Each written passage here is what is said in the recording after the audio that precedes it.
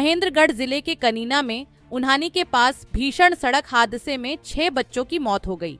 GL public school की बस बच्चों को लेकर स्कूल जा रही थी और बस ड्राइवर ने शराब पी हुई थी, जिसके बाद ओवरटेक करते समय बस पेड़ से टकराकर पलट गई। इस हादसे में बस में बैठे बच्चे घायल हो गए। हादसे में घायल बच्चों को लोगों द्वारा और कुछ को एंबुलेंस द्वारा हॉस्पिटल पहुँचाया गया। बस चालक को मौके से काबू कर पुलिस के हवाले किया गया।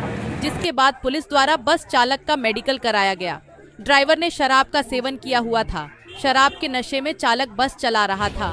पुलिस अधीक्षक अर्श वर्मा के दिशा निर्देशों में मामले में कार्रवाई के लिए सीआईए महेंद्रगढ़, साइबर सेल और थाना शहर कनीना की टीमों का गठन किया गया।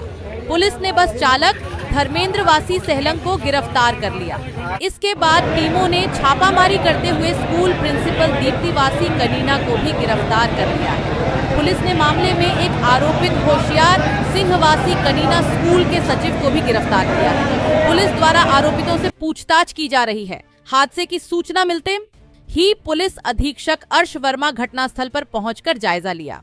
इस दौरान डीएसपी मोहिंद्र सिंह और डीएसपी हरदीप सिंह भी मौजूद रहे।